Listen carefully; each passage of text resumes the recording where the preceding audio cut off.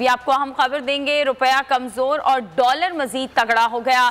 Interbank में dollar 60 पैसे महँगा हो गया। इंटरबैंक में डॉलर एक सौ अठहत्तर रुपए से तजावुज कर गया। कफील इस बारे में मजीद बताएँगे। जी, कफील।